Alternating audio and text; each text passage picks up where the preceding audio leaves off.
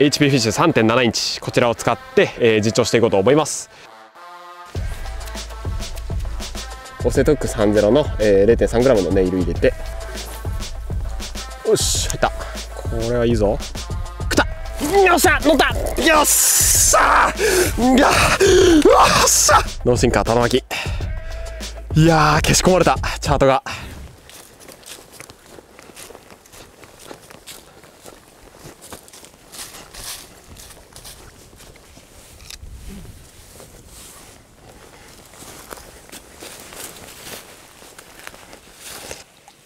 いい木があるじゃないですか。ちょっと水減ったから投げれるようになってんだ。しめしめ。よっしゃ。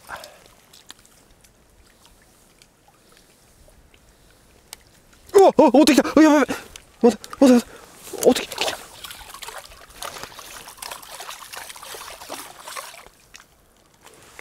ああいや足元戻ってきた。でっかうっそ。もう一回もう一回もう一回いやでもでもでもでも。え？でもでもでも。え？あそうそうか。焦りすぎだって。やばい。いやいけるなこれ。いけるな。今の追い方はいければ絶対食うわ。おはようございます。岡田翔です、えー、本日はこちら。新しく出ます。HP フィッシュ3.7インチ。こちらを使って、えー、実調していこうと思います。まあ HP フィッシュ脳進化リグだけではなくてネイルリグだったりとか、えー、テキサスリグスイムジグのトレーラーなんかもありますしいろんな使い方ができるんで今日はそれを紹介していけたらなと思ってます。で、えー、今日来た場所なんですけども奈良県の室生ダム。ちら遊漁券で管理されているリザーバーになります。釣りする際は絶対に買いましょう。こちらね船屋さんで買えるんで自分は年券買っちゃってるんですけど、えー、日券もしくは年券買ってで車のダッシュボードに置いておいていただけたらということだったんで、まあ、そちら守って釣りを楽しんでいけたらなと思います。よろしくお願いします。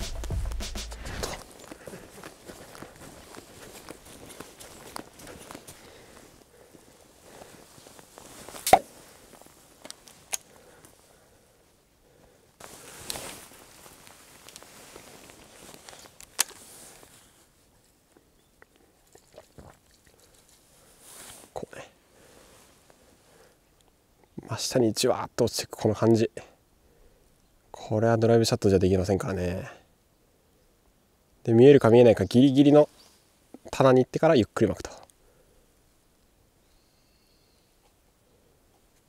ここはなだらかに浅いんですね。で向こうの山がこう結構切り立ってて。でもまあ逆ハンドなんで流れが通ってない分全然全体的な水深は浅いんですけどね。春は基本ですね逆ハンド。温まりやすいしおまけにここは風も吹かないし冬の漁業は濃いと思われる一級ポイントです。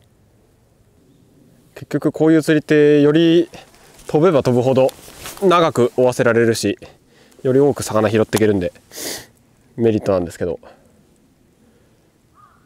ノンソルトでこういった普通のワーム素材中にコアも入ってない普通のワームのシャットテールタイプってあまり飛ばないんじゃないとかそういったイメージを持たれる方多いと思うんですけど、まあ、よほどのヘビータックルでその不釣り合いなタックルで投げない限りは飛距離っていうのは全く気にならない、まあ、むしろよく飛ぶかなっていうこの形状大きなテールがねついてるんで形状によるそのウエイトのバランスでクリアしてますねその飛距離の問題は。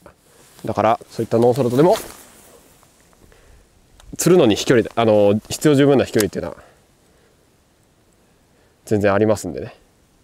で結局こうやって向かい風でもしっかり飛ぶってことはああいった細かいピンに入れて入れていく時にも変化球しないんで一投で正確に射抜きやすいっていうのもありますね。やっぱこういったワームはキャストタイトに入れていかないと話にならない釣りなんでそういったところはいいですね。HP フィッシュ。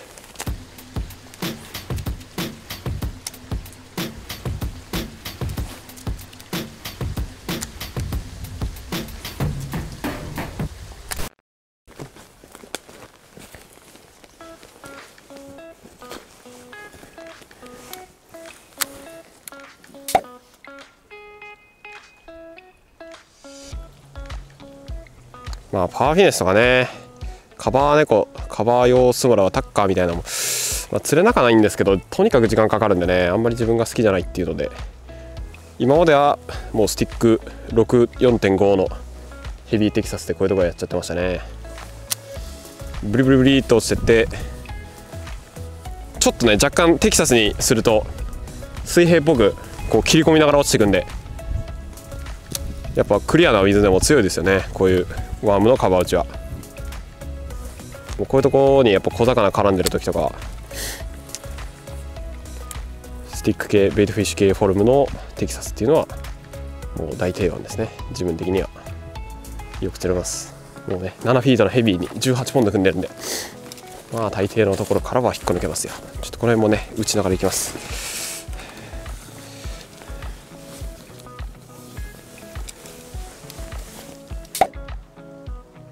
今にも釣れそうだけどな、まあ、でも贅沢を言えばもうちょい晴れてほしいかな。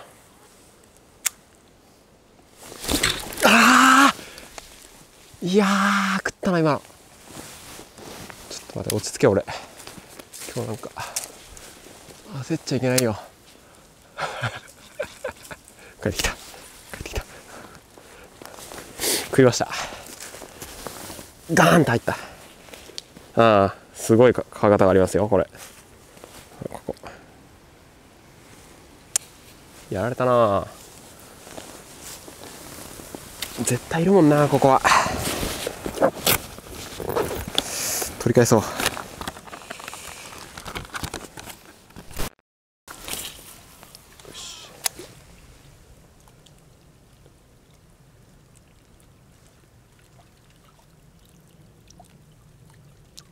食いそう。釣れそう。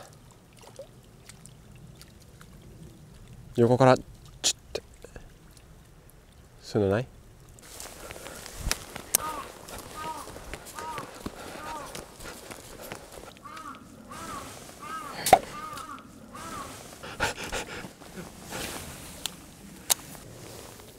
いきます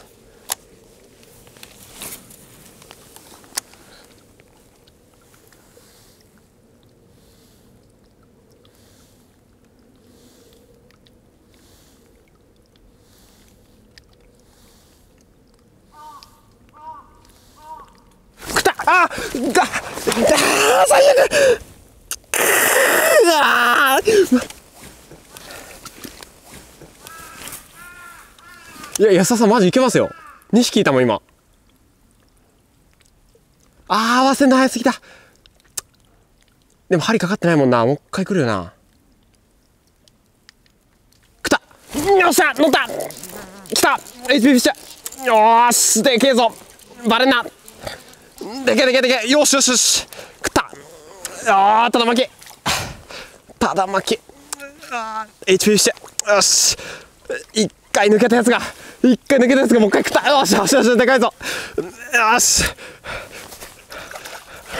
ふてふてふて。でもこれあんまり遊ばせるとまた取れちゃいそうなんで。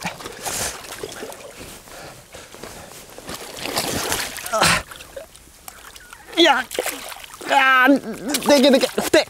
よっしゃー。よっしゃよっしゃー。一フィッシュあー。やっと釣れました。でかいこれは。よーし。うわー。ほらハニーフラッシュ。HP フィッシュ3.7ノーシンカーただ巻き。いやー消し込まれた。チャートが。よーし。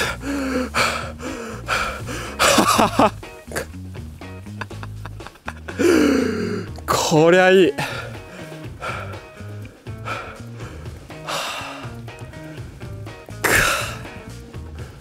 もうね。もう。いやでもこれ多分一発じゃ済まないかもしれないな。やりきったらもうちょっと出るかも。よし室の春バス。よし。HP フィッシュオセトック30の、えー、0.3g のネイル入れて脳進化。玉巻よしちょっと測りましょうか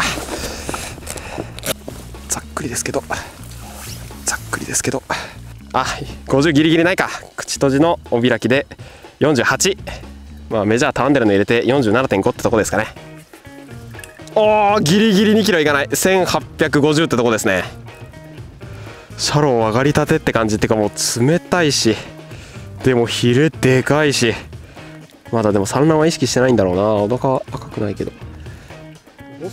ボスですね。でも2匹いましたからね。同じぐらい。まあちょっと小さいのも。あいっちゃった。ああありがとうね。よし。やったー。よかった。とりあえず安堵ですね。えー、こちら HP フィッシュ3.7インチですね。こちらのフックセットリギングを紹介します。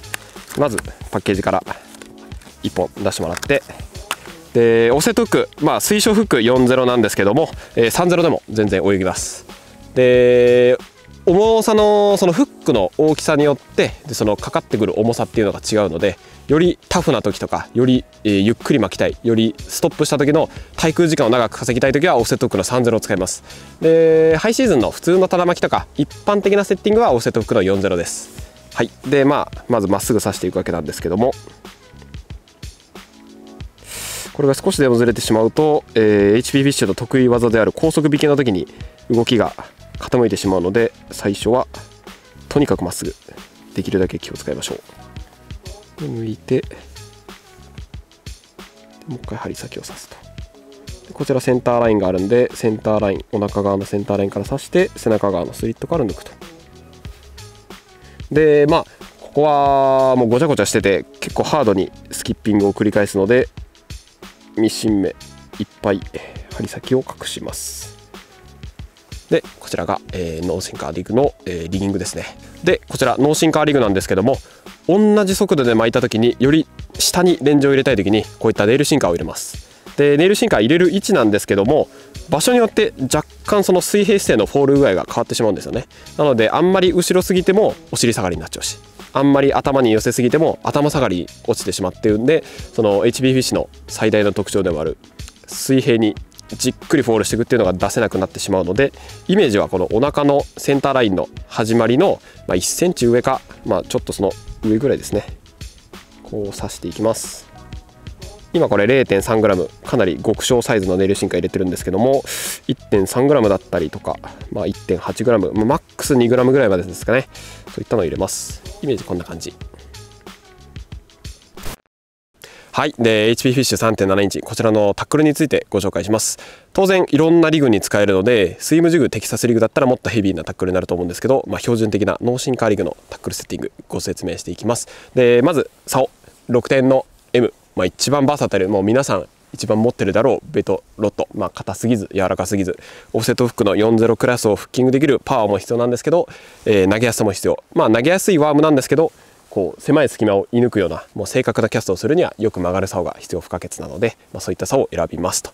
でベイトこれリールなんですけども今6.3の、えー、ギア比選んでます。まあこれっていうのはハイギアでもいいんですけど、えー、今時期はゆっくり巻きたいので糸を突っ張りすぎないっていう意味で6.3のギア比を選んでます、まあ、ハイシーズンで高速巻きとかするんだったらもう超スーパーハイギアでも、えー、ハイギアでも OK です。で糸。これはフロロの12ポンド、まあ、自分的にはかなりこれは結論でノーシンカーの HP フィッシュは12ポンドが一番いい動き出ます。ストップした時に糸が太すぎると若干前にその糸が太いと引っ張られちゃうんですよね。12ポンドだとじわーっとこの垂直に落ちるでっかいバスかかってきてもまあそこそこ切られない太さなんで12ポンド。これはまあまあな結論ですね、まあ、こういった6点の M に、えー、普通のベイトリールに12ポンドフロールバーサタイルなタックルでやってます。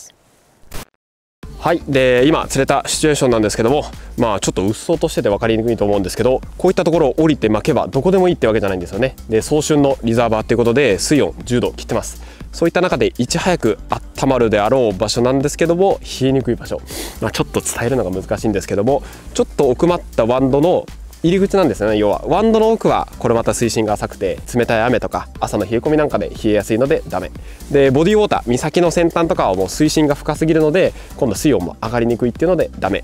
で岬そちらにありましてでこっちワンダロークなんですよね。そのちょうど中間地点のバンクですよね、まあ、岩むき出しなんかだとなおよしです、まあ、今っつったのはねこのワンダの奥側に投げてでバンクと平行に長く見せることで、えー、よりチェイスの間を作れますとか沖から岸を見上げた時に、えー、追い込んだ形になるので、えー、バイトを誘発しやすいという。でこの先も似たようなロケーションいくつかあるんでねそういったところを回ってやっていきたいと思います。はい。投げれんなら投げたいな。一応投げとこうか。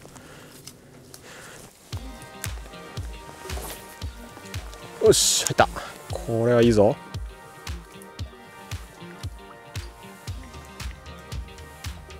ダメ。見た目が良さそうだなやっぱ。条件が。ちょっと違うとダメなんだろうな。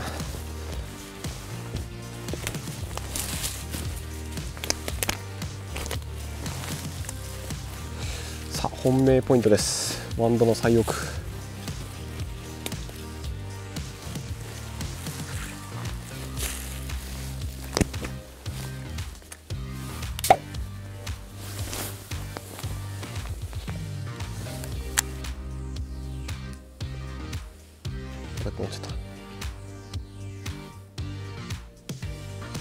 ライブリーワカサギもうまそうだな。これもいけんじゃないかな。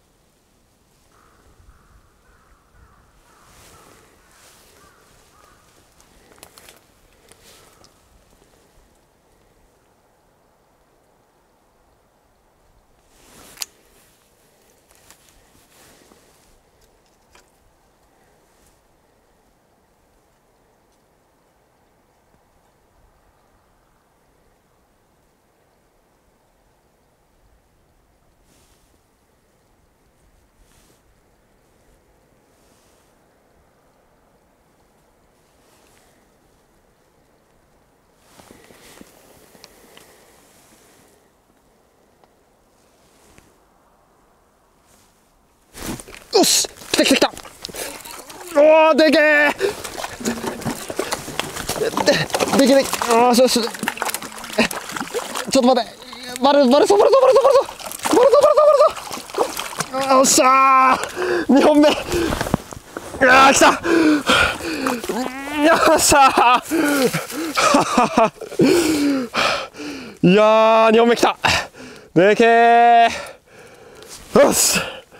はあ、おお太い。これも太いな。いいな。うお出てきた。よし。でね HB フィッシュあのー、完全ノンソルトなんでこうやってジグヘッドリグにつけても水平性を保っていいロールするんですよ。で、まあ、投げて巻くあのスイミングワームなんですけど、えー、タフな時まあベイトフィッシュフォルムで、えー、ウッドチップの下とかまあ、ピンスポット攻めたい時はもう1箇所に落とし込んでこうロールさせるもう力強いこのテールの抵抗感とこのボディ全体のロールでこれまたねよく釣れるんですよ。よし特徴がいきました。これはいい釣れ方だ。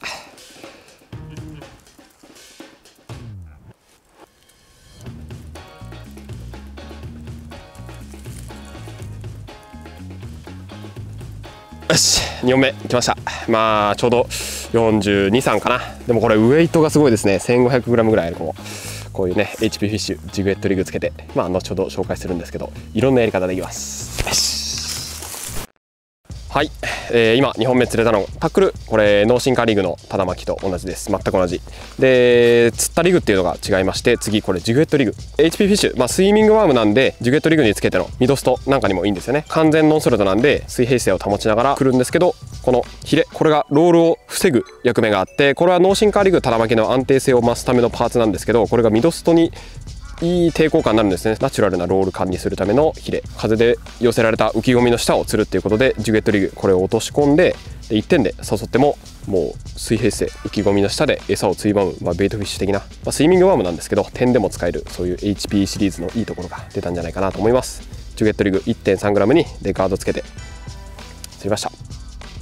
で、えー、ジュゲット。まあ綺麗にロールさせるためにはボディの正中線より若干上にこう差し抜いてもらうのと、まあ、今これ自分ワームが結構ボリューミーでずれるの嫌なのであの龍儀さんのインセットキーパーつけて絶対ずれないようにしてるっていうのとこれちなみにカラーマジベイトって呼ぶんですけどこれ完全新色 OSP の、えー、新しいワームカラーです。ソフトしてるスモークよりも若干薄いスモークなんですけど腹に極小のシルバーラメ吹いてましてこれがナチュラルなベイトフィッシュの鱗みたいに見えるしこうキラキラロールした時なんかも本当に見え方が小魚っぽくてこういったタフな時間帯でも違和感なく食ってくれる色なんじゃないかなと思います。もちろん脳進化で泳がしてもいい色です。マジビート。はい。今回 HP フィッシュ使って実況を行っていきました。脳進化リグネイルリグ、えー、ジュゲットリグ。まあその3つがメインだったんですけども、えー、他にもラバージグのトレーラーだったりとか、まあ、キャロライネリグだったりとか高速巻きでもドカーンと出たりとか、まあ、これからどんどん良くなっていくんじゃないかなと思います。で、まあ、今日3月上旬。かなり寒くて厳しい状況だったんですけどもでもこれだけ、えー、チェイスだったりとかバイト反応を多く引き出せたっていうのはこのワームのポテンシャルが証明できたんじゃないかなと思います。いいバスも釣れたんで個人的には、えー、この時期にしては大満足な超過になりました。HP フィッシュ3.7インチ皆さんよろしくお願いします。ありがとうございました。